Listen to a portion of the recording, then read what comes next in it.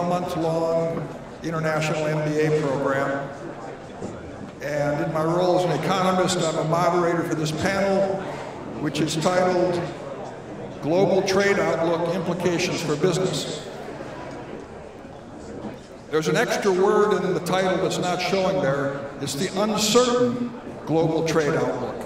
And the uncertainty, of course, stems from actions by the United States, stems from actions by the administration to pull out of different trade nego negotiations, and importantly, to threaten tariffs and to impose tariffs. And that is bringing a lot of uncertainty to the world market. And we have five panelists here with a tremendous amount of experience in supply chain management, in trade relations, and trade policy. And I'll introduce them briefly and then ask them some questions. And some of them will respond the old-fashioned way and talk to you, talk to me about the questions. Some will illustrate their points with a few slides. So let me briefly uh, introduce our panelists, and then we will, we will begin. But to preface that on the uncertainty, in mid-March, I had a, a, luncheon meeting with a senior Chinese diplomat, and I asked him what he thought China's response might be to the threat or possibly the enactment of, of tariffs on Chinese $50 billion worth of Chinese goods. And he responded instantaneously. It, it, it was a response that was uh, thought out. And he responded with three ideas in total of 20 words. China does not seek a trade war. China is not afraid of a trade war. China will not be bullied. And I think his statements uh, reflect the reality we're seeing with new announcements this morning. So I'm just going to briefly introduce our panelists and then ask them to begin. Uh, our first speaker is Jeff Weiss. Jeff is a partner in the DC law firm Venable. Uh, he's a partner in the International Trade Group. He focuses his practice on resolving market access issues related to product and digital regulation and standards. Uh, he has worked in the Department of Commerce at a very high level. He's worked in the Office of Management and Budget. He's worked at USTR. He has a lot of experience in trade negotiations, and, and uh, we're very interested in hearing what Jeff is going to talk to us about. Secondly, uh, the next uh, panelist is Dan Krassenstein. Dan is the Director of Asia Operations for Procon Pacific, an industrial packaging firm, and has been a supply chain practitioner in Asia and Latin America for 30 years. He's a past governor with the American Chamber of Commerce in Shanghai and was also chair of the Supply Chain Committee. And very importantly, he's an alumnus of the Global Supply Chain Management Master's Program. Thank you, Dan. And our third panelist uh, is Guido Gries, and Guido is the managing director of Dachser Air and Sea Logistics Americas. He oversees the business development for all of the Americas, including North, Central, and South America. He's responsible for connecting Latin American economies to the Dachser Worldwide Network, and ideally to seamlessly integrate these economies. Thank you, Guido. And fourth is Ricardo Vera. Ricardo is the Director of Operations of Mexflex, a supply chain management firm, warehousing firm, and is a senior executive with broad international experience in supply chain uh, planning and execution. And last but not least is Professor P.J. Guan Goh, who's an associate professor at the Business School of the National University of Singapore. Prior to that, he had 20 years of corporate experience throughout Asia in general management, strategic planning, and commercial investments. Okay, let's start out with Jeff. Jeff, tell us something about the trade environment and what you think what you think is happening today and what you think will be happening tomorrow. As we, as we say in DC, the situation is fluid. So uh, every morning we wake up to, to new, uh, new news, some, some things we haven't seen before. So I think to start off, it's important to note that there is a, a, general consensus in the, in the Washington trade policy community that the administration has a point about IP theft by China, about, about steel overcapacity, about circumvention of anti-dumping countervailing duties. I think the question is, how do you address some of those things? And it's really difficult to do that in Geneva. We haven't had a single undertaking uh, since 1994. And we tried negotiating with China in a bilateral investment treaty in the last administration to cover some of these issues, and we weren't able to make much progress.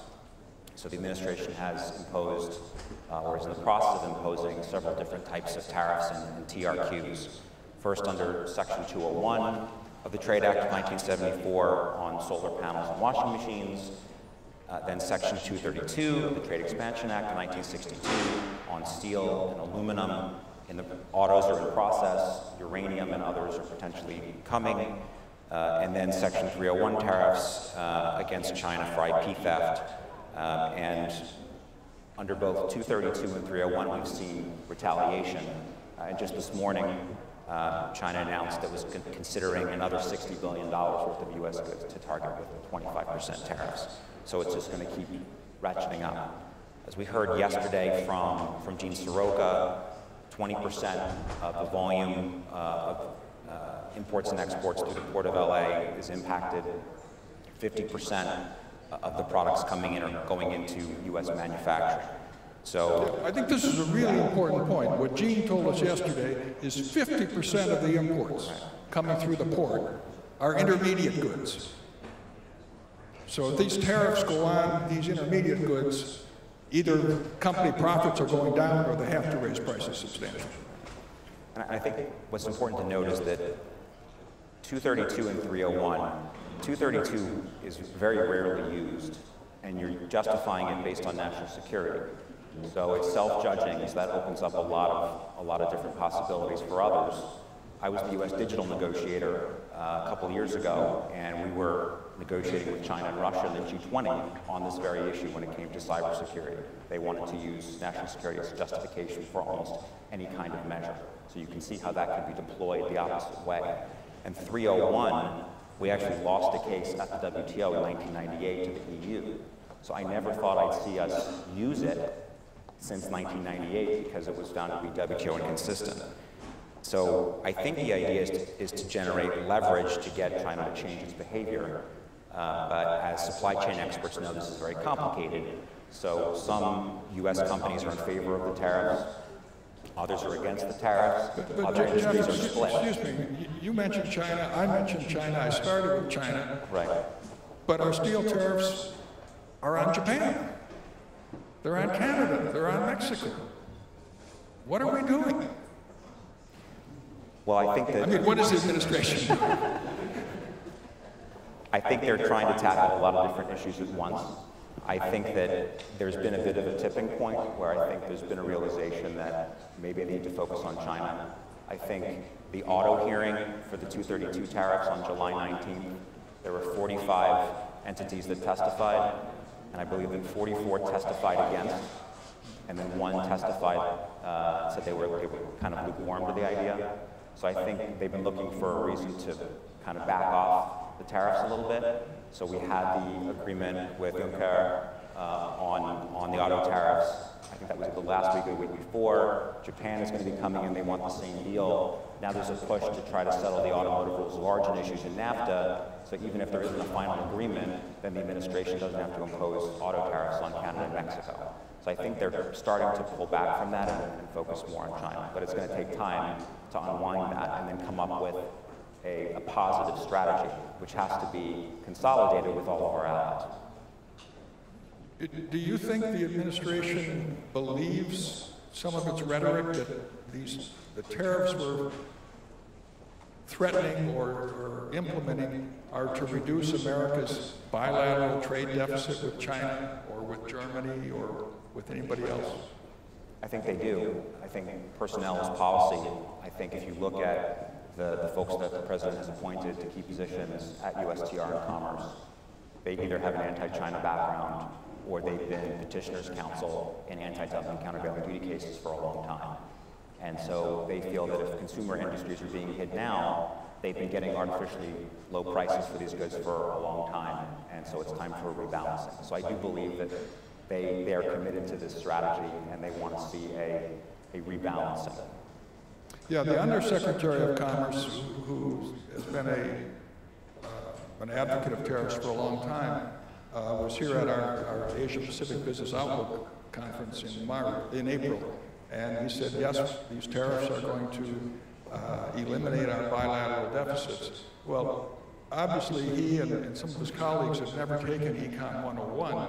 Uh, the tariffs are not going to reduce our, our deficits, uh, our overall deficit. Our overall deficit is caused by our spending and savings uh, functions. And in fact, our overall deficit is going to go up because of big tax cuts, unless there's a big cut in government uh, uh, spending. I also think it's complicated. If you look at what the semiconductor manufacturers are saying, 90% of the values in the U.S., the design and the manufacture, they ship the products to China for final assembly, packaging, and labeling, and it's coming back with a 25% tariff.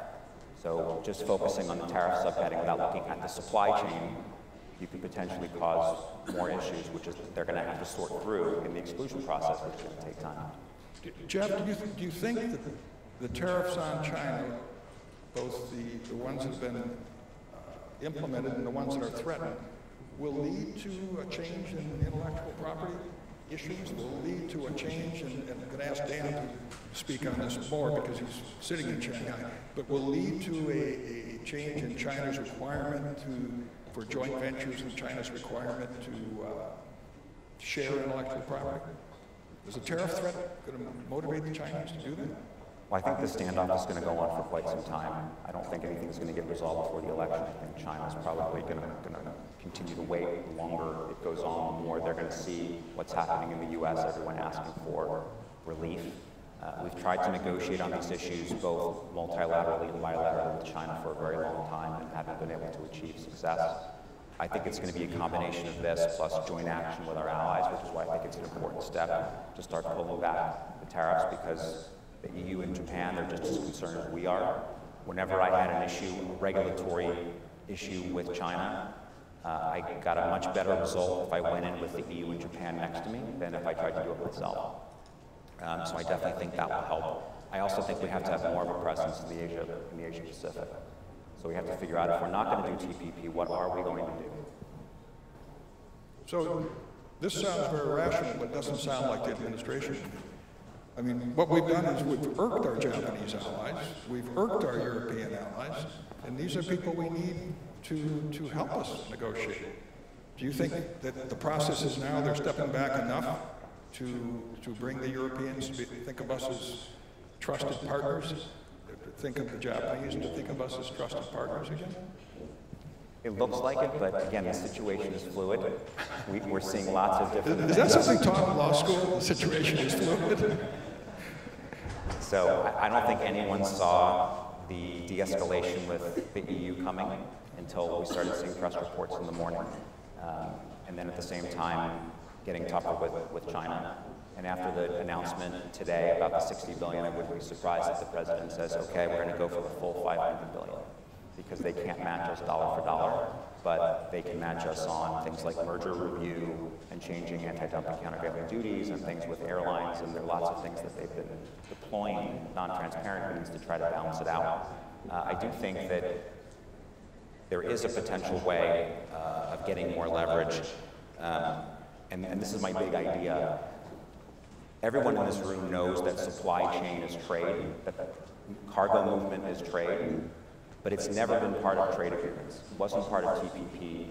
Everything in Washington is stovepipe. You have trade agencies and transportation agencies, trade committees, transportation committees, um, and they really need to be integrated. And I feel like what we could do is put forward with our allies in Asia Pacific an alternative to One Belt, One Road as a way of re-engaging and bringing trade and supply chain logistics together. I think that Nick's put together a great team here. Secretary of Commerce has a great advisory committee on supply chain competitiveness. Together, they can put together some recommendations. I think infrastructure is something the president cares a lot about. He also cares about uh, geopolitics. And if you look at the U.S. national security strategy, they talk a lot about U.S. leadership in maritime, on infrastructure, and, and technology. So I think there is a way consistent with their policy to kind of move us in the right direction, but it's going to take a little bit of time. I, I hope you're right. Before we go to the next panelist, do any of the panelists have a question or a comment? You can disagree with Jeff, or you can agree, or can elaborate? Guido. What, uh, what Jeff said, especially we're very close to the automotive industry as a logistics provider. And what you have to know that uh, when you build a car, it's over 30,000 parts. And they're built to components. Are hundreds of companies making sure that the car is being built. So going to a German company, producing cars in Spartanburg, South Carolina. So these guys exporting from South Carolina 70% of their production into the world. Now, by imposing duties and taxes on, on, a, on a natural supply chain, they don't have under control because they basically buy 90% of their components of a global procurement through these hundreds of companies. They, they pay 25% or 10% duties and taxes, and when they export them to China, they have to do it another time. So usually that car manufacturer is moving the platform of certain cars because they don't build all the cars in one factory those platforms are being moved then to the local markets, and it's, it's a snip, you know, for them. It's not a problem to produce it either in South Africa or Mexico or China.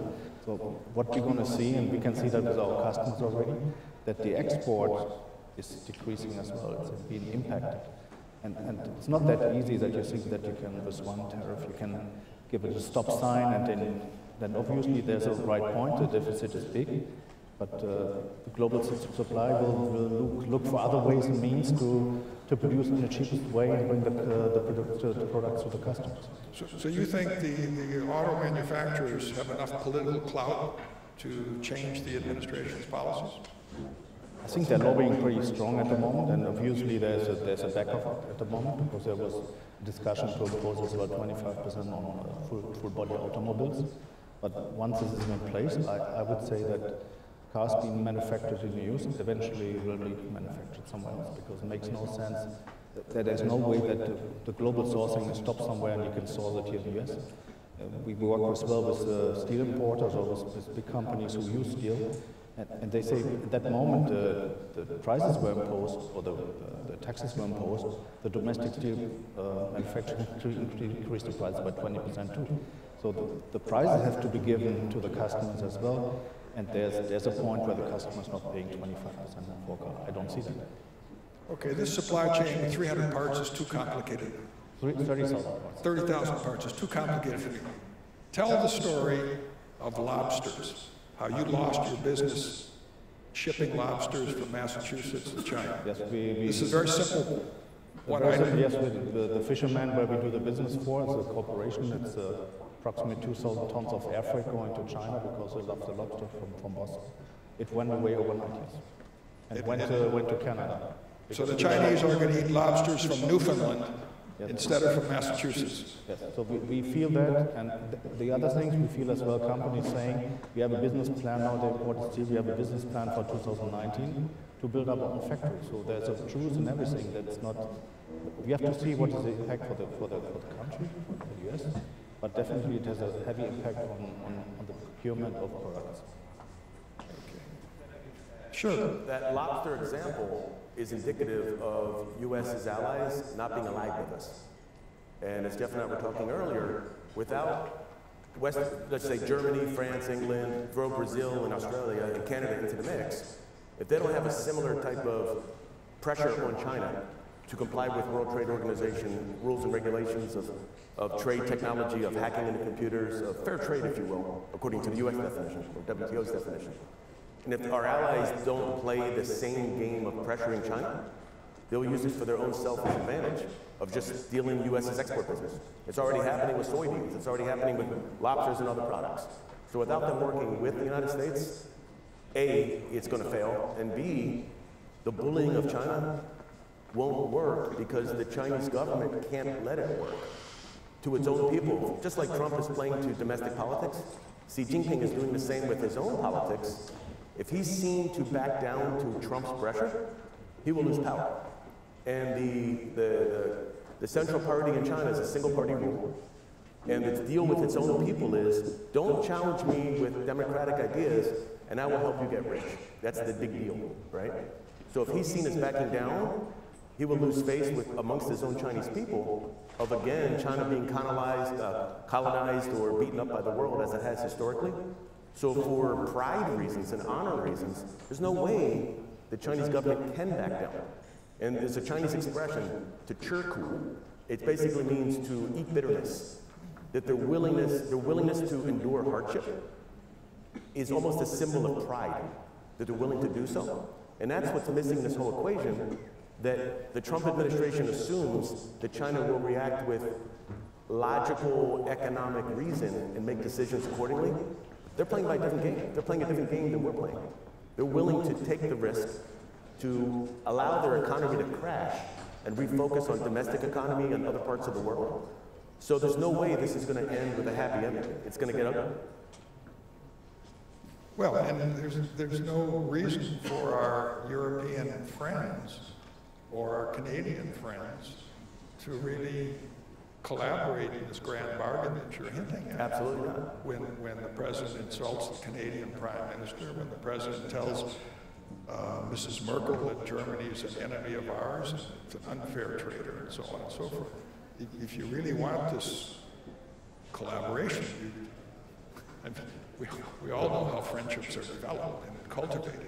It takes a long time to create professional friendships. It takes a very short time to, to lose credibility. PJ, a voice from, uh, from Singapore, please. I guess I can add a point uh, around this, uh, which is that companies would actually arbitrage uh, trade regulations and FTAs uh, around what they do. So it's kind of similar to what they had pointed out about uh, coordination. So it's not to say, I'm not trying to say who's right or who's wrong, but as long as there are differences in like uh, FTAs and trade regulations, companies would find ways to arbitrage that uh, to maximize their profit, right, or to maximize their exports uh, you know, using uh, existing tariff structures. So just to give a couple examples, right, and you talk about steel tariffs, uh, which is making the news recently, right, but even a few years ago, there were already um, uh, sort of import quotas within the US and Europe, right, and, and, and those quotas have been there all along. And so what we saw, um, and I was in the industrial park business before I joined academia, so I was um, uh, you know, in the industrial park business in Southeast Asia, so we're in Vietnam, uh, Indonesia, and we looked at Myanmar as well.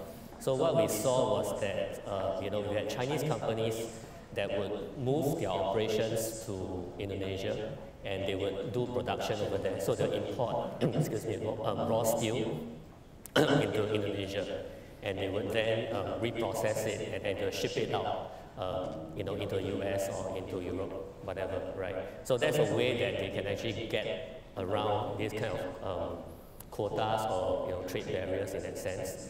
And it's, it's all legal, right? Because all you need to do is to hire people and have enough local content to, to get around it. And, and then actually, uh, you know, uh, at one point when you talk about TPP, it was also the same thing.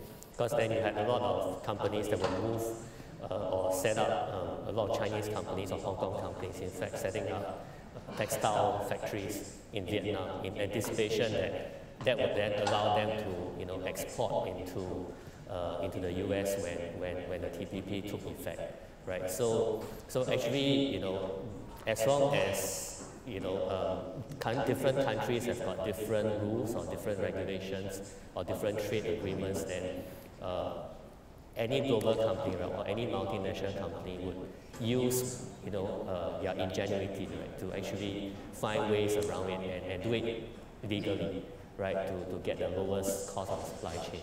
That brings us exactly to Dan's principal topic here, supply chain shift. Dan, tell us a little bit about why labor-intensive manufacturing operations are moving out of China to South and Southeast Asia and how the threatened and actual tariffs might be accelerating that process. I'm going to use a PowerPoint to walk through that. And my, my, my, my point is this. Prior to the, uh, the tariff escalations, there's already been a supply chain shift from China to South Asia, primarily India, and Southeast, Southeast Asia, primarily Vietnam, and that's mostly caused by labor cost increases in China. So the, I'm going to use my company as a, as, a, as a specific example. Instead of talking in generalities, I'm going to walk you through what's happened to us as an example of many of my peers as well in Shanghai who are in purchasing or supply chain functions. Cross industries, we're all facing the same function. So many of us who are based in Shanghai, like I am now, are increasingly flying to Mumbai, increasingly flying to Ho Chi Minh to follow our supply chain, and our supply chains are being stretched. So again, this is all prior to the tariff escalations. All that's doing is essentially escalating, or accelerating, if you will, a process already underway. Um, a little bit about me, again, the, tro the Trojan background. I just turned it off, great. There we go. All right, what do I do? I figured it out. All right, Look, our company, we manufacture polypropylene bags, also called big bags or super sacks. Labor intensive, it's made from polypropylene. So oil is 40% of the cost of the product. The other 40%, another 40% is labor, 20% miscellaneous. So a labor intensive product made sense to make in China 10, 15 years ago. The problem is now, as, as labor costs, I'm gonna walk you through this in a second, but in, in, in local currency, RMB or Chinese yuan, uh, terms, we went from 1,500 RMB a month labor salary 10 years ago, doubled to 3,000 five years ago. Now it's up to almost 6,000, which is roughly 1,000 US dollars. So a typical blue collar factory worker using a heavy industrial sewing machine is making almost 1,000 US dollars a month today. Well, there's only so much our customers are willing to pay for a polypropylene bag. Eventually it becomes cost prohibitive to manufacture in China. That's one problem, labor cost inflation. Second problem is uh, labor displacement. The workers, even if you're willing to pay 1,000 US a month, they're not from the coastal provinces where traditional manufacturing takes place in China, from Shandong down to Guangdong. they're mostly from Hunan or Anhui or the poorer hinterland agricultural provinces who come for economic opportunities to work. They're no longer willing to work for $1,000. They're not their parents' generation who are willing, as I said before, to churku, to eat the bitterness, to make money to provide the best life for their children. They're thinking, why the heck am I doing that when I can stay in my hometown with my spouse, with my parents, with my child, earn less salary, but my cost of living is less, I'm happier. So therefore, it's harder to find the workers even if you're willing to pay the price. That's what's causing this supply chain shift to South Asia and Southeast Asia, who are more than willing to take on the, the, the production. What do they do? Here we go. So I, I had three topics I was going to speak on. The first one is the supply chain shift. The second one is relevant for the first topic Jeff was speaking to, is U.S. and China on divergent paths. So I'm going to skip the third one, but com combine the two in a very fast-moving PowerPoint, because I probably have limited time. Again, this is something that has happened historically. It's a busy map, but it's essentially saying what's happening now happened previously, and history always repeats itself. In the 1970s, Japan was the world's factory. As labor costs in Japan increased, the, the four tigers in the 80s, Taiwan, Hong Kong, South Korea, Singapore, took over the manufacturing. As labor costs increased in those countries, and I was living in Taiwan in the mid 80s, so I witnessed this. All the Taiwan factories, South Korean factories, Singapore and Hong Kong factories moved into mainland China to take advantage of low cost labor. By the way, all these slides, if you're interested, I'll just share them with you. It's nothing proprietary. I see a lot of pictures there. Um, and now it's happening again, and it's natural. It's not that the manufacturers will leave China, but the labor-intensive ones have already left. I mean, look at your underwear. It's probably made in Vietnam already, or, or your, your running shoes. The point is this, it's already started. It's already moved to Vietnam. It's already moved to India. And in fact, it's very fluid. As you say, the situation is fluid. I think that if I'm quoting your phrase, it's already now my textile friends who I know in Asia are already moving to Ethiopia. The new peace accords between Ethiopia, Somalia, and Eritrea makes that the primary opportunity for manufacturing, low-cost labor. Um, or on the other side, in Ghana and Nigeria, a lot of textile manufacturers are going there as well, closer proximity to the United States. So it's another opportunity there. So what I'm basically saying is this is happening and it's going to happen again. Uh, this is uh, showing the wages. This is in RMB terms. Um, and I put together this slide. Please don't hold me to the numbers.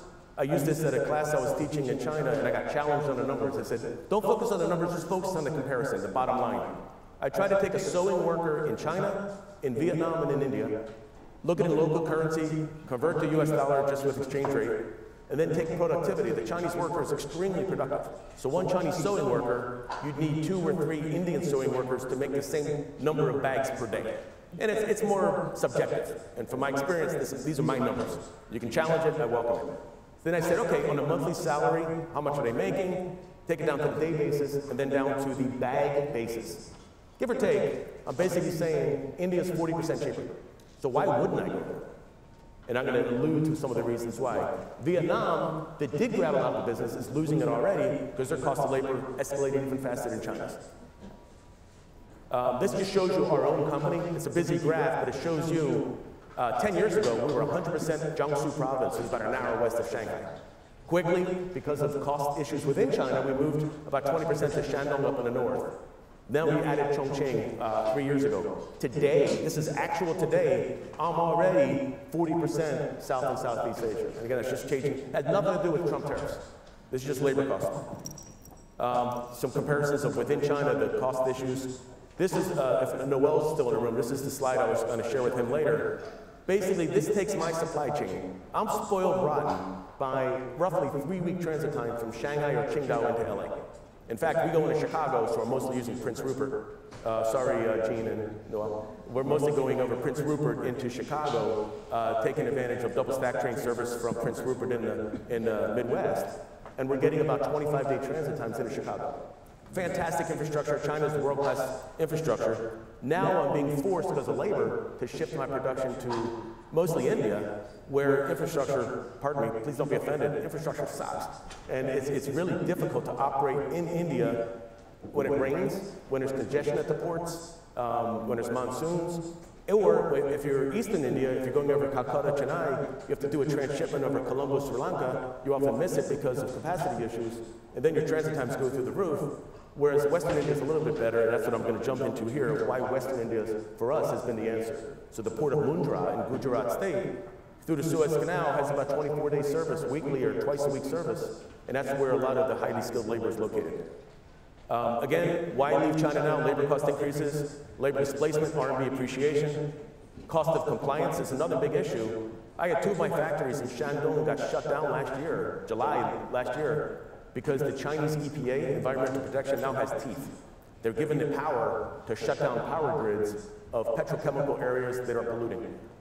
The middle class in China now has a voice that says, okay, Communist Party of China, we'll respect you if you stay in power, but our deal now is not only let me make the money, but let my children not die of lung cancer. so as a result, there's a lot of enforcement of uh, EPA and FDA rules, local Chinese rules, that are now being complied to. The cost of compliance has made it very expensive for factories to make a profit. Raw material costs have gone up, and finally the trade tariffs obviously make it more difficult as well. Um, I'm going to go through this quickly because it's not relevant to this speech, but essentially my Shanghai-based sourcing office and production office is being stretched. Within China, it's easy. In three hours, I can get to any one of my factories by high-speed train or fly if I need to. To cover India production or Vietnam production is stretching my supply chain, which means I'm probably going to take my office and move it to a Mumbai or a Singapore pretty soon. Uh, India, labor cost is cheaper, English language, uh, global certifications, they have all the food grade certifications I need. Um, there's a lot of maturing the India exporters need to uh, take on if they want to be able to compete for our business. A lot of challenges related to supply chain beyond physical infrastructure. A lot of it's just experience working with American companies. It takes time. Vietnam, uh, similar challenges. Labor costs is increasing. Very educated workforce. The problem really is the infrastructure hasn't caught up, and um, uh, not as not as frequent of transit calls, uh, tra uh, frequency of sailing vessels like Shanghai has.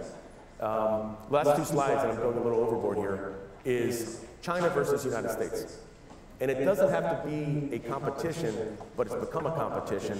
The U.S. wants to re retain its power over the world. And I don't mean that in a negative sense, it's just a reality. But it wants a fair trade, and Trump is catering to domestic uh, policies, or the support base. China wants respect. If you look historically from the invasions going back to the Opium Wars to England, to the US, Japan, Germany, France, uh, occupying parts of China, as recently as 56, I'm sorry, go back to 1930s, that's what, 80 years ago, China feels disrespected. So it's demanding its place on the world stage with respect. It wants to change the world order. It's not its best interest for WTO rules to stay as they are. it's more than happy for the U.S. to get out of TPP and allow it to run point on it. Um, it wants They'll, they'll be even happier if we do what the trade rep wants and takes us out of the WTO. I agree. So China wants diversified markets. It doesn't want to be reliant on the U.S. So in some ways, Trump is doing China a favor by forcing the issue. Um, this, gra- this map is way too, this graph is way too busy. It's my last slide. But I do recommend, I hope I can say it right. My daughter's going to kill me if I get it wrong. Thucydides trap. Um, it basically says that if, as you have an existing world power, or even regional power, and a new power comes up on a stage, what happens? Is there room for two at the table, or does it lead to a real confrontation, a real physical war with military involved? And what it basically says on this map is 12 out of 16 times it's led to war. And the last, more recently, it's not led to war. Perfect example has been, you can use Japan in World War II. Some could argue if you take your emotions and heart out of it and look at it historically, Japan had no choice because the U.S. had a blockade around it, choking it from oil in the 30s and 40s for many reasons, maybe many valid reasons. Japan had no choice but to fight its way out of it, right? It lost. But some of these issues that start with a trade tariff war can lead to war, and I got to tell you, that scares the heck out of me. Well, the, the author of this book, Graham Allison, a Harvard professor, is uh, not predicting war. Uh, Graham is saying that if, if things don't change, uh, it could lead to conflict, but uh, as rational people, we could uh, change some policies along the way. But, but he's afraid of that. Okay, thank, of course, Jeff. I mean, I think it's fascinating that the movement of the supply chain, because I know the administration really wants to negotiate an FTA with the Philippines. They're, I think they're close to potentially announcing one, and they're looking at potential FTAs with countries in Africa. But if Chinese factories are going to be opening up in those countries, and are, so what's the administration going to do? Because I know for the solar tariffs and washers and steel and aluminum, those had global reach because they wanted to make sure that China couldn't set up factories in other markets and circumvent the tariffs. So those countries are not going to agree as a condition of an FTA with the U.S. not to accept Chinese investment. Exactly. So What gives? we're going to have to figure our way out of this. I mean, I can give a perfect example. Um, a, a sister industry to ours are the, if you buy dog food or horse feed bags, these big BOPP bags, like a 25 pound bag of dog food, they have the shiny print on it. China was accused of uh, dumping those on the US market about 10 years ago. So they had a 300% countervailing type of duty on it. What happened? That moved to Vietnam. The lamination imprint is still being made in Shandong province. It's shipping to Vietnam to be placed on these same bags run by Chinese factories in Vietnam. That's already happening. So what you just described is already the reality. And that's what, Absolutely correct. Absolutely correct. and, and that's what uh, PG was talking about too. Companies move operations. A- A key point that Dan made, I'd just like to, to highlight, is that labor costs are only part of production costs. And infrastructure and transportation are incredibly important um, in, in terms of locating things. So if one moves factories solely for labor costs, you're in for big surprises. So you've got to think on all of these things. Guido, what I would like you to talk about, at least start with, is what is Brexit and what is that going to do to supply chains and business operations? I work with our company is uh, basically operating was the biggest groupage LTL operator in Europe uh, with, with 27,000 people, uh, 400, 400 uh, branches and uh, 3,500 point pairs. It's, it's a very balanced network because when you operate a network, you have to have it very balanced. So at that stage, UK business is running perfectly. So we don't see yet any change, nor in the orders, nor in the behaviors. So that it's, it's some sort of calm, so there's an, there's an agreement that everything runs as it is. Um, the question would be what, if we would have then hard borders in the future, what would that really make or give to that, uh, that, uh, that network or impose to that network? And there's, there are technical challenges because today uh, a big percentage of the, the transfers of goods are running through the channel, to the tunnel, and uh, there's no parking space. Very simple things. If you have a hard border, you control every truck, what's on the truck, and you, in Europe, still the documents are traveling with the truck. Um, you would really create a big traffic jam, you know, going up to London, I guess. So that, that is not a practical solution. So they're talking about electronic borders, uh, detach the physical flow of goods from the really from the from, from the documentation, so make really spot checks. Um, there's a lot of questions nobody can answer yet, but it's, it's rather calm. And I just attend board meetings. I'm not I'm not attending any meetings with Emmanuel or with, uh, with Angela. So in our board meetings, basically, we do not expect like a like a big major disaster. In, in So, so you, you do not anticipate a hard Brexit? no. In, even there would be a hard Brexit from a supply chain perspective, we would still deal with it. It's, it's, it's something that you have to add maybe more more uh, drivers, and that is really the real issue in Europe. We have a huge driver shortage as we have it in the US. And to find drivers, it's really hard. And then to guarantee that as well the transit times and, and really uh, be part of the supply chain that you have a, uh, a guaranteed transit time of 12 hours or 24 hours as our, uh, our customers use us. That's then very difficult. It's a challenge. It's adding more challenges to already existing problems we have entering the cities in, in, in Europe uh, Uh, with, the, with a diesel thing. So these, these are real issues, and if you add another issue or complication by crossing a border, of course, it's delaying the supply chain and that costs money. So I guess at the end of the day, the consumer, we are paying those things which are not perfect. Right? So, so Brexit, soft or hard, is going to make the European system less efficient? Definitely. And, and obviously, as well, automotive companies like, like Jaguar announced it because they really have a global supply chain. They cannot afford to pay duties or taxes on their goods. They eventually will move their platform to Hungary or what Can you give us a, a thumbnail sketch of what your European customers or suppliers think about U.S. trade uh, policy or U.S. trade pronouncements? I can tell you, as, a, as a, I'm German, native German, so I still follow the German news. It's, not a single evening where Mr. Trump is not on news, and nobody understands it.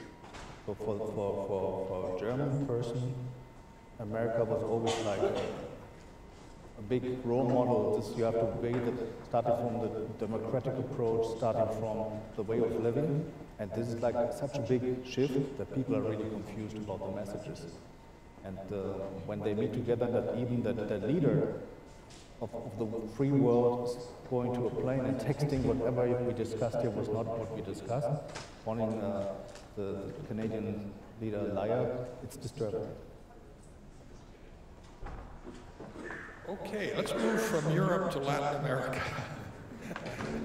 Ricardo, tell us a little bit about what's driving growth in Latin America and, and also... So let, let, me give you just a quick perspective of where Latin America stands today.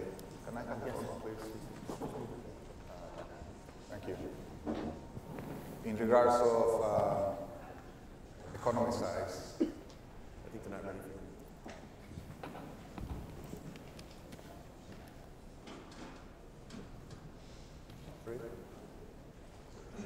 Okay, so today, as of today, Brazil and Mexico are ranked uh, economies number 8 and 15 among the uh, top 20 economies in the world in regards of uh, GDP. Uh, for the last 20 years, Brazil and Mexico have had the right path to have a stronger influence uh, in global economy. And if they continue doing things things as they have had for the last 20 years. They are projected to become economies number seven and number eight by the year 2050. Obviously, this path has not been uh, easy, and the challenges and the uncertainty that Latin America is living today in regards of global economies uh, means that uh, Latin America needs to be very careful how we manage things in the future. In the case of Mexico, uh, the country needs to maximize its current geopolitical and economical position, since we have a strong uh, uh, position managing our resources and our strategic location gives, gives us advantage, uh, advantages that we need to maximize in the future. All these put together has allowed Mexico to sign more than 12 uh, free trade agreements with more than 50 countries uh, in the last, uh, during the last 10 years. And obviously NAFTA being a priority number one for Mexico today uh, due to its worth, which is close to $21 trillion, or close to 26% of the global GDP. In order for Mexico to continue maximizing uh, its current global trade environment, uh, there has to be ongoing investment in commercial infrastructure to uh, strengthen ports, airports, highways, and this needs to be funded by ongoing uh, capital investment and spending power. And this needs to be a priority since uh, today we have a strong relationship with North America, in this case the US and Canada, where uh, we have more than 500 million uh, border crossings every year. So that gives you a magnitude of uh, how Mexico needs to maximize today its current position in order to continue growing and having more influence in the global trade environment. The case of Brazil is a little bit different. Today, Brazil needs to increase its global presence uh, since to, uh, global trade, since today imports and exports represent only 25% of the country's GDP, compared to Mexico's 70, 75, and Chile's 65. So Brazil needs to continue removing trade barriers that so far have restricted uh, local companies from uh, having more opportunities, global opportunities, and foreign competition. In the end, Latin America is looking to have more foreign competition. We foresee that as an enabler uh, to uh, increase productivity and to increase efficiencies, which in the end will generate more jobs in the region. Uh, especially for those uh, low uh, skills, lower income roles across the region, which in the end will drive growth, but in an inclu inclusive manner. So this is a priority also for local governments in the region to have growth driven by inclusion. There are three key enablers that the region needs to focus on uh, and needs to have clear strategies to address the challenges that we are facing. The first one is to find ways and clear strategies to create competitive labor, an abundance of competitive labor. And this must be a priority since today Latin America has a very young population which ranges from 60 to 75% of the total population. So this is an opportunity but also an asset since in the future we foresee having generating uh, production sustainability and abundance of competitive labor. The challenge is that this current rate will continue increasing uh, in the coming years, with Mexico uh, increasing more than 26%, its current young population, working population. So we foresee having ranges from 80 to 85% of uh, our population uh, uh, as a working age standard. The second priority for the region will be to drive productivity to become the principal engine of growth. We foresee uh, uh, the creation of more and better remunerated jobs by becoming more productive. So improvements in, pro in, productivity need help by having significant higher investments in microeconomic and legislative reforms. So putting those together, uh, we foresee Mexico and Brazil becoming more productive in the next coming years. The third area of uh, achievement that uh, Latin America, and in this case Mexico and Brazil, need to focus on is to have important legislative reforms that uh, could increase uh, foreign investment and overall GDP uh, by having a positive impact on the business climate. As an example, since 2013, Mexico has had a series of legislative reforms that are expected to boost uh, GDP by two points uh, in the next, uh, from 2013 to 2015, moving from an average of 2.5, 2.8 GDP growth to an expected 4.4, 4.5 GDP growth by 2018. So those three are the key aspects that need to be uh, uh, managed by Latin America in general in order to have a more presence and a stronger uh, influence in global trade environment. What we foresee happening uh, for the business uh, in Latin America is that we expect supply chains also to evolve uh, accordingly in order to have that level of influence in, uh, in, global in local markets. Before, uh, logistics was seen as a com competitive enabler uh, just to operate efficiently by reducing cost and overall working capital to reduce overall, overall timings in the supply chain. So the value was seen to increase margins for a company. But in the future, uh, competitive companies will use supply chains and logistics in Latin America to develop and support new businesses, as well as to increase sales and market share uh, improving, improving service and, cons and, consumer loyalty. So we expect uh, supply chains, and especially logistics, uh, to evolve in this way in order to be aligned to the future challenges that we foresee uh, for, for the region. So in summary, there is a lot of room for improvement. Mexico and Brazil have strengths that are among the world's most extensive. Many are betting on these two countries uh, with a lot of expectations for great success, but we have opportunities that today are real. So Latin America's future depends on having more citizen participation to strengthen the rule of law, eliminate, eliminate corruption, improve education, and drive entrepreneurship. Ricardo, one, one question. Um, your, your chart about Mexican GDP growth with the four or five different reforms taking it from two and a half percent up to four, four and a half percent.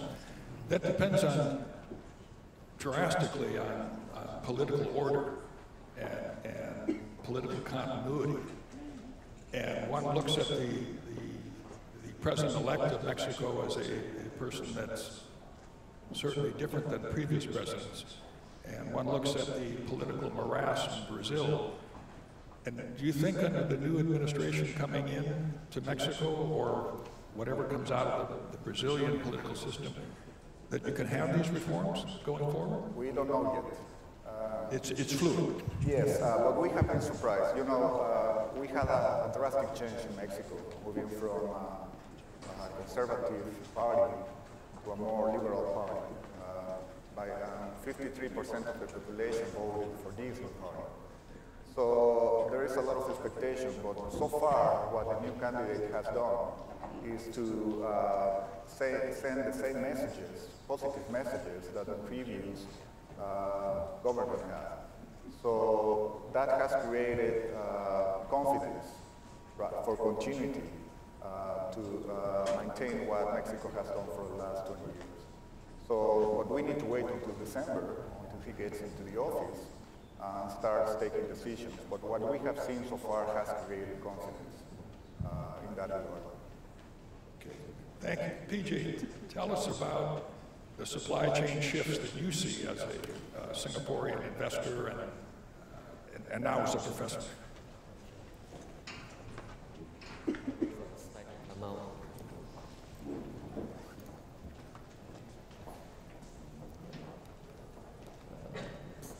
Okay, uh, so uh, I think Daniel has already spoken a lot about the shifts of uh, manufacturing. So I just wanted to show a survey that was done by the Financial Times. And uh, basically, they, they surveyed a, a, bunch of companies and looked at uh, you know, where they want to move their manufacturing you know, out, if they want to move out of China, where they want to go. Right? So in the past, we had this model of you know, China being the factory of the world. And I think because of changes in the cost structure, the rising cost structure in China, and also uh, you know the fact that their own population is growing older as well, uh, companies are looking for alternatives. So uh, in this survey, uh, you know they, they you, you can see that for example, uh, Vietnam and Cambodia is very much uh, on top of the list. But uh, my point around that is also that uh, there are no single alternatives to, uh, you know, to the next factory of the world in that sense. Uh, you know, uh, you know, so it's going to be spread out among uh, probably a few countries. So you can think of Vietnam as probably, you know, a destination for export-led growth because of the cheaper labor costs, uh, you know, uh, cost structure and, and uh, relatively good infrastructure and stable economy. And whereas countries like Indonesia, with a 250 million population, would, would attract investments because of you know, uh, the, the need for being in the domestic market, right, rather than to export into the Indonesian market itself. So, so we're likely to see, in a sense, fragmentation, at least within uh, the Asian landscape for, for manufacturing.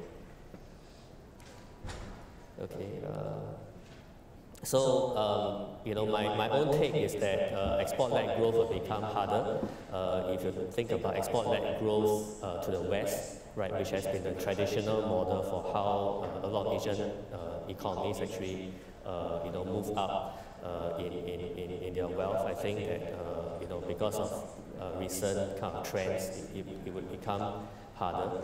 Uh, you know, but it doesn't mean that uh, it would stop, right? And, and, and to some extent, uh, uh, countries and companies find their own way, right? So, um, you know, uh, this, this is talking about, uh, in fact, uh, uh, for example, Vietnam trying to move up the value chain uh, into more innovation, and at the same time, they would they have also signed a number of FTAs. So, like like you know, like Mexico, for example. Vietnam has also signed FTAs with European Union. They have FTAs with um, uh, you know, with uh, South Korea, right? So, so they, they are creating avenues that they can then use uh, to, you know, to, to have more, you know, to have trade relations and trade avenues for, for, for the exports as well, right? So, so these are things that actually, you know, a lot of countries are doing right, to, to adapt. Okay, and uh, at the same time, so the other thing that, that we can see is uh, a lot of domestic markets uh, investment would actually uh, you know, happen as well. Um, and, and these are a couple examples of uh, electronics uh, manufacturing that is being done in India. So uh, I'm sure many of you heard of the Made in India initiatives that came up uh, you know, a few years ago with the new Indian government. So they have actually managed to attract a lot of the smartphone manufacturers, so like Foxconn, uh, now uh, Chinese companies like Huawei and Xiaomi uh, into India as well. Uh, you know, uh, of course, there are still challenges with bringing the whole supply chain there, but you can see that companies like that are actually moving in to, uh, in a way, capture the domestic market opportunities of a 1 billion population, right? And, and, of course, the same thing for Indonesia as well, for the automotive companies. Uh, you know, uh, so companies like uh, Hyundai and uh, Kia, you know, Korean car companies are very, very big uh, in, in uh, and of course the Japanese car companies are very big in Indonesia, right, um, to target the domestic markets, you know, so of course, automotives is not something that you can make in one part of the world and export everywhere, right? So, so you know, because of the logistics costs, so they would actually uh, put manufacturing plants in those countries. Okay, and uh, uh, the other point that um, you know I thought would be uh, that could be made is that uh, also a lot of these investments are no longer just for low cost uh, manufacturing, but uh, uh, or for low cost labor, but to some extent also to invest into what is called the new economy, into innovation, into IT, uh, you know, in, in, in, venture capital investments as well, right? So uh, you, you have, uh, you know, companies like Xiaomi and Foxconn uh, putting on record that uh, uh, the reason why they're in India, for example, is not just for the low-cost manufacturing or domestic markets, but to actually invest into you know the startup companies over there, and, and, and you know and, and, to actually take part in that. Um, you know, uh, in, in, in, those new venture kind of companies. And uh, the chart over here actually shows uh, Southeast Asia venture capital investments. So you can see that as of 20, and 2012, it was very much dominated by Singapore as, you know, as a, as a place for investments into startups and innovation and technologies. Um, you know, um, by 2016, Singapore, of course, uh, still accounts for a large chunk. Uh, you know, so in absolute value, everybody has grown. But you, keep, you can see that, uh, you know, within Southeast Asia, Indonesia has, has grown a lot. Uh, you know, so, so in the last couple of years, uh, Indonesia has actually created a couple of unicorns as well for uh, in, in, in, in the venture and innovation space, and more companies are looking at, uh, at that as well. So there is also the aspect of uh, innovation investments and not just um, um, you know, manufacturing investments.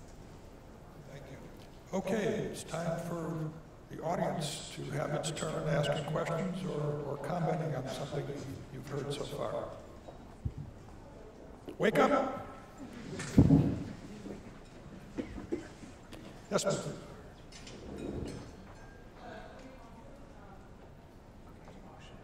Um, Courtney Thompson, Inventory Supervisor with Medical Distribution. Um, Ricardo, this question is mainly for you in the Mexico and Latin America community. In the medical industry, we have quite a number of manufacturing facilities in Mexico where more delays have been seen due to unrest or more political spectrum at the borders. Do you see this having any negative impact on Mexico distribution into the U.S. Um, within the future? Yes, I think it has had a negative impact on distribution. Fortunately, the country is living now, call into a security situation, which has been addressed uh, for the last five to ten years. Uh, we recognize that uh, but what we have seen is that the government has taken the right actions to address the security issues in very specific regions in the country. So this is not happening all over the country. It's happening in very specific areas where uh, proper actions have taken place. Yes, there is impact on distribution. Next question. In the back. Microphone's coming. Uh, I do like thank the uh, like quite like deep uh, presentation about like Chinese uh, manufacturing. So I have another question is uh, is like uh, since uh, like do, there are like low add-on industries that are moving out of China, but we also observe that like, there are also like car manufacturers like Audi and BMW are keep investing in Chinese in China. So, like, uh, my question is, what opportunities do you see in uh, manufacturing in China in the next like five to ten years? Dan, would you like to? I guess I get the first. Start with that. Uh, essentially, don't ignore the fact that the Chinese domestic market is huge and growing very quickly, probably the fastest in the world comparing economy versus economy. The demand for automobiles in Chinese fourth, fifth, and sixth tier cities. The definition of tier cities, if you're not familiar with it, a sixth tier city is bigger than Philadelphia, right? These are multi-million population cities. Like a city of Changzhou of five, six million people you never heard of. There's like a hundred cities like that in China. And as the middle class grows, the demand for automobiles grows. The demand for clothing, electronics, other consumer goods grows. It's a very desirable market. And a recent survey at the American Chamber of Commerce in Shanghai illustrated the most successful companies, whether they're American, European, or Chinese domestic companies across the board, are those that have a balanced trade. They're in China, manufacturing for Western market, Asian market, most importantly, for the Chinese market as well. So why are the, why is Tesla setting up 100% wholly owned plant in China. Why did BMW just come in two weeks ago, announce a 70% owned factory in China? One, the rules changed. Two, because there's a huge domestic demand for those automobiles and other products. So to answer your question, there's always going to be a demand for manufacturing in China, increasingly for the China domestic market, secondarily for non-US destination markets as those markets grow. Dan, why, why isn't Tesla or Audi or many others worried about losing their intellectual property? Whew, that's a hot potato. Um, there's a concern, and valid, that American companies that have uh, desirable technology are either getting hacked and having that technology stolen, uh, or getting copied with intellectual property rights not being respected. Uh, a lot of non-tariff barriers of being forced technology transfer. These, the China 2025 strategy put it on the table very clearly that it wants to become a dominant player and not, not reliant on U.S. technology, right? So if I were uh, a U.S. owner of IP and high, highly desirable modern technology, I'd be worried too. So why is Elon Musk investing in China? I think he has no choice. There's money there. There's a lot of money there. He, he's draining cash quickly. Um, there's a huge market potential there. Uh, and, he's, and because of pressure from the Trump administration and because of um, Elon Musk's desire to sell to the Chinese market, made in China to avoid the tariffs, he has no choice but to be there to take advantage of that market. So he's not overly worried about intellectual property. He's figuring out ways to protect himself or to change the technology enough to bet. I, I, I just think he realizes what a smart guy he is, that he can stay as an inventor and keep the technology ball rolling and is willing to share openly and lose some of his present technology because he knows he's going to come up with a new one. And he's got to survive as a company. It's a practical decision. Jeff, do you have any thoughts on that? Well, I think there's going to be more domestic investment in China, um, especially because of the, the CFIUS reform bill that, that the president is going to sign. It's going to make it harder for China to invest in the U.S. That money has to go somewhere, so it's going to stay in China or go. Jeff, just briefly explain what CFIUS is. So there's a Treasury-led committee that evaluates foreign uh, investments in the United States. And uh, the reform bill that just passed is going to increase the number of transactions that are, that are subject to that review. So including now if you're, if you're potentially buying into a U.S. company as a minority shareholder, they can take a look at that. So, so in the past, this committee only reviewed things that were considered to be threats to national security, and now it's a much broader review process that will probably go on. And they're broadening export controls as well for other types of technology. So that, that's causing companies to think about, if they haven't already done it, to invest in China, to produce in China. So the, the cutoff of Qualcomm's uh, uh, chips to ZTE, which happened in March, and then got rescinded because Xi and Trump talked to each other, and, and Mr. Trump was worried about losing a lot of jobs in China, doubles and triples the rate at which China wants to build its own chips. Now, of course, they violated a number of embargoes and stuff, and, and they should have been penalized, but uh, complicated question. Other questions? Yes, sir, right here. And then the next question in the back in the white shirt. Good morning. Uh, you had talked about the Chinese government wanting to be able to save face um, and not give in to the U.S.'s basic demands. Um, is there anything that you've heard of or anything that they could potentially do on, maybe more on the kind of hidden end to release, or excuse me, to relieve any of the, uh, the tariff increases that American companies would feel, such as, for example, you know, manipulating the currency slightly or offering a higher VAT rebate for the exports from the Chinese manufacturers. Have you heard anything like that, or, or is there any kind of conversation about that thing where it maybe wouldn't necessarily, they could still save face, but still also, you get what I'm saying? That's a very good question. Uh, you might be able to answer this better than me, but I'll take a first stab at it. First off, the RMB has depreciated from roughly 6.1 to today at 6.8, right? So that's, I'm using that against my suppliers right now and saying, give me my price breaks. Essentially, it, in US dollar terms, if you're buying FOB port China, your cost of manufacturing has dropped by 10% in US dollar terms. And that was reactive, not so much to make the tariffs less effective, but more the end game to not let factories shut down. Again, bear in mind, what does the leadership in China care most about? Staying in power, stability. The last thing it needs is 100 million young people on the streets unemployed, right? So it will do what it has to do to placate its domestic needs before it cares about the United States. Its biggest worry is not being invaded by a foreign power. Its biggest, biggest worry is civil war, because historically that's what's happened. So they will do what it has to do to survive. So as you said, foreign exchange rate, that's not happening by accident. That's certainly being manipulated, even though market forces, sure. Um, the, the next point you made is uh, value-added tax rebates on exports. That's already happening. Um, if I export a product and I don't, I paid a 17% VAT within China right now, I get about 15% of that back already. Thing, thing to bear in mind in China, a lot of the manufacturing are over half, probably more closer to 70%, are, are being done by state-owned enterprises. And the definition of state in China could be federal, could be provincial, could be municipal. They're various state players, right? It's kind of like our post office or military or, or public education. These are state-owned enterprises in America. They play a much larger role in China. they receive subsidies because often a lot of these companies are sister companies to banks. They can essentially just print money or borrow money, and it squeezes out the private sector. So during these times of restrictions or threat to the economy, they certainly add fuel to these companies to keep them going, to support them.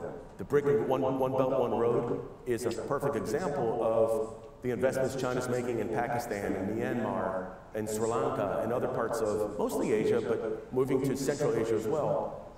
Those create Chinese jobs, and it takes the focus off the United States. It also allows them to create future trade partners and future, political alliances, uh, which is very critical. So China's basically, as I was alluding to before, this is a natural process which is already underway. The tariffs being implemented by the United States is just pushing that process to happen quicker. So to answer your question, I think China's making a lot of these moves. But getting back to what I said earlier about Tesla and BMW, a lot of the pressure now being given by the Trump administration to China actually is effective. Three years ago, even one year ago, it would have been impossible for an American company like Tesla to set up a plant in China and own more than 50%. And General Motors joint venture is a perfect example of that. They tried to buy more, they were blocked from doing so. Today, you can. You can own 100% of your own plant as an automobile factory. That's a success factor, which if, I mean, if I was in Washington, D.C. right now, I'd be raising the flag and said, we won a battle, we won one. But nobody's saying that, unfortunately, because it's still going on. So I think there, are, there is progress being made, and I think China's being very aggressive to protect itself, as it should. So I was going to mention currency devaluation as well. I think it's 10% since, At least. since April, since April. Yep, 12%. 12%. Um, so that might have been a factor in why the president decided to consider, ask the USTR to consider 25% tariffs versus 10% tariffs to try to offset that. So that's probably one of the things that they took into consideration before they came out with that.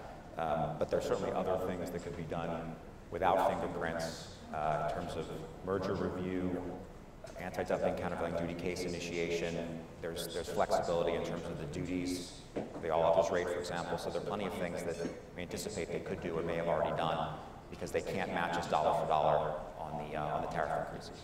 The, the other variable, which, which scares me, and I hope it doesn't happen, is what happened a couple years ago with South Korea, and to a lesser extent with Japan as well, when they had geopolitical concerns over the, uh, was it the THAAD missiles that the U.S. put in, uh, THAAD missiles in South Korea, and then the, the dispute over islands on the East China Sea with Japan. It was very easy for China's um, PR machine to come out and say, Stop buying their products. Stop buying Starbucks coffee. Stop visiting American, flying on American Airlines or supporting American businesses. They are our economic enemy. Support other countries that are more friendly to us. That spigot has not been turned on yet, and that could lead to anti-American sentiment in China. Sentiment. I'm hoping that doesn't happen, but that wouldn't shock me.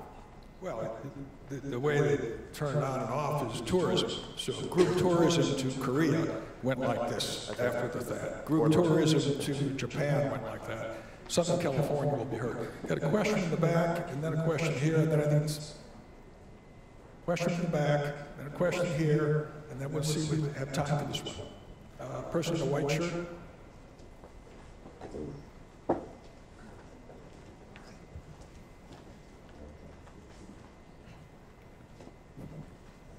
So a quick question and brief response. Lunch is coming up. My name is Yong Yang. Um, I, I work at a work as a director of operations on uh, Cookdom Apparel. Um, as a manufacturer for apparel industry, uh, what I see is we, we have two manufacturing locations. We provide two country of origins, one from Indonesia, one from Mexico.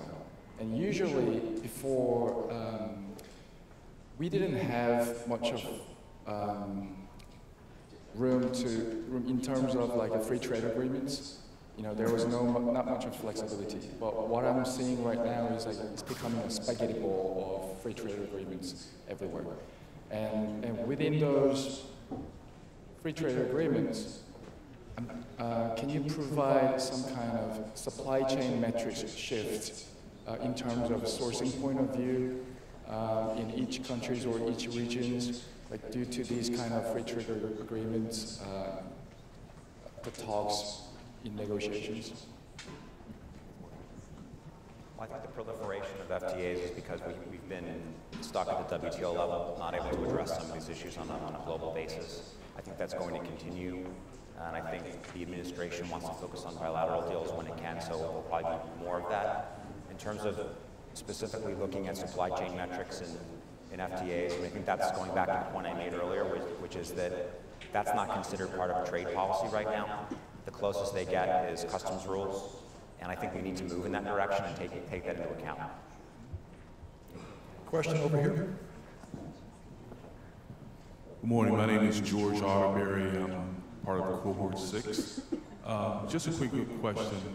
One area of the world has not been mentioned in this discussion is Africa. I just want to know if you can touch on that briefly.